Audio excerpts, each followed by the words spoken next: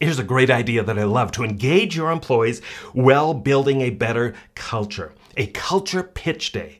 Maybe every quarter, maybe twice a year, maybe once a year. Hold a culture pitch event where employees or teams can pitch their ideas for a better workplace culture. And make it fun. Turn it into your version of if you're Canadian, the Dragon's Den, or if you're American, Shark Tank, where you make it fun, where you have a panel asking questions and probing and create some expectations that people are going to have to do their homework and create a very world class presentation for you. You can have employees vote on the ideas and you could award prizes for the most creative or fun ideas. So not only is it a great way to engage employees,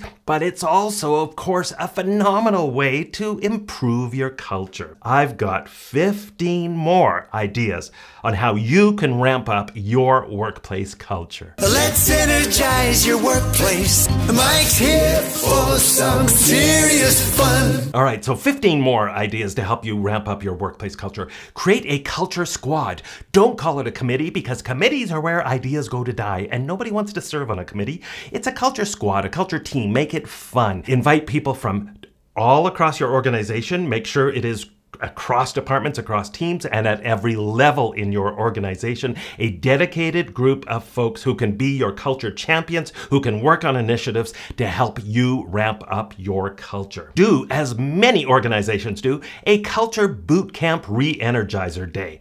Once every six months, once a year at least, where people get together, where you celebrate your culture, and where you recommit to your culture and recommit to the direction that you want to move your culture towards. Create monthly culture themes where everybody focuses on a different aspect of your culture for one month. It gives everybody a rallying point, something that they can focus more intentionally on for a one month period. Create a three in three challenge. Challenge teams to come up with three culture ideas that they can implement within the span of three months. Hold a values blitz kind of like the monthly themes, only this is more focused on your values and on a weekly basis. So here's how it works one value per week, you have everybody just live that value ridiculously out loud. So the needle is going to go way over here. You maybe can't sustain it here because everybody will get really tired. It might come back here. But for a week, or encourage everybody to just live that value ridiculously out loud for one week.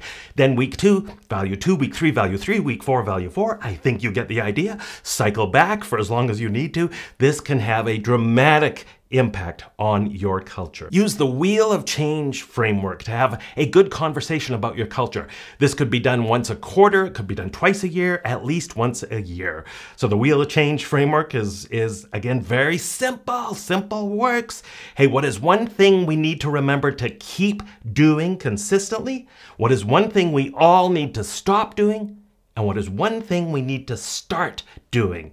That will help us build a more collaborative, inspiring workplace culture. Open and close your meetings with a culture moment, with a culture story, where you share a story that brings your culture to life. Examples. And the brilliance in doing this is not only are you keeping the culture message alive and talking about your expectations around culture, you can also use this at the same time to turn some of your employees into heroes, into rock stars by celebrating their success for having lived your values, lived your cultural norms out loud. Create three rituals or traditions, three rituals or traditions that you can implement that will help you build a stronger workplace culture. Rituals and traditions are so important. They help shape the identity of your workplace and your culture. They give employees something to look forward to and something to reminisce about. So come up with three traditions or rituals that will work for you. If you cruise over to my website, www.mikekerr.com, and in the search box put in rituals and traditions, you'll find some examples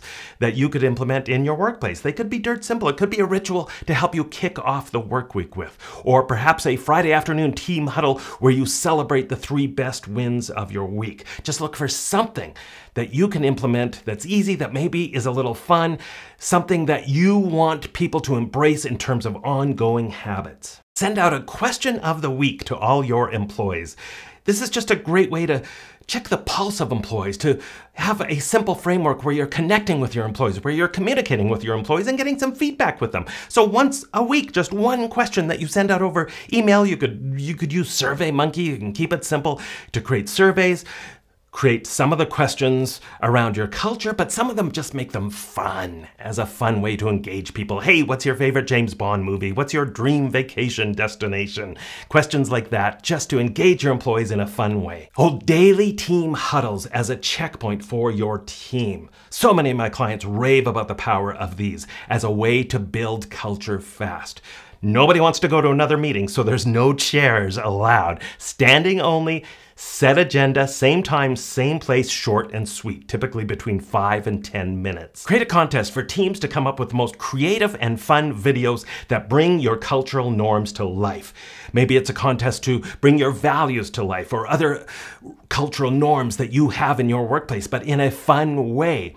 Not only do you engage employees then in the process of building your culture, you also can create a finished product that you can share on your website that you can use for onboarding and training purposes forevermore. If you're shifting your culture, then create some milestones, some key milestones. So you need to know what direction you're moving in and the things you want to accomplish, obviously, but then create some milestones around those that you can celebrate. Nothing builds momentum like momentum, I was going to say, which sounds a little crazy, but you know what I mean. You build momentum through celebrating your milestones, and you will continue to move in the right direction. Infuse your workplace with more fun. I'm all about the fun. I mean, I'm the author of The Humor advantage, for goodness sakes. You know I'm all about the fun. As the old saying goes, work made fun gets done. So you want to make sure the whole process of shifting your culture is fun. Create, as some companies have done, a rotating volunteer humor ambassador position or a fun squad that can work on intentionally creating some fun projects, some fun initiatives to infuse that spirit of levity and fun and safe humor into your workplace culture.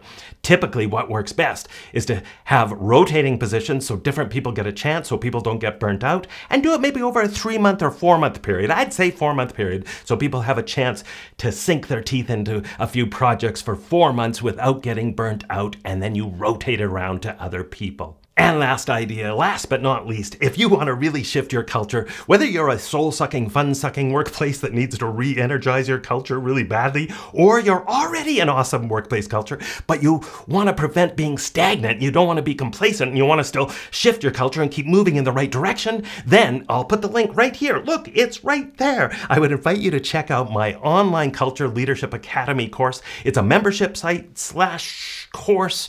One year you'll get access for at a ridiculously great price. 12 video based modules. It is full of content. My books are there as ebooks, all sorts of resources to help you implement all these ideas and move your culture in the right direction. So, as always, I hope you got some useful, valuable tips here. Please share this with everybody and anybody you need to share this with. And if you haven't yet, hit the subscribe button, join our growing community as we talk about inspiring workplaces that rock.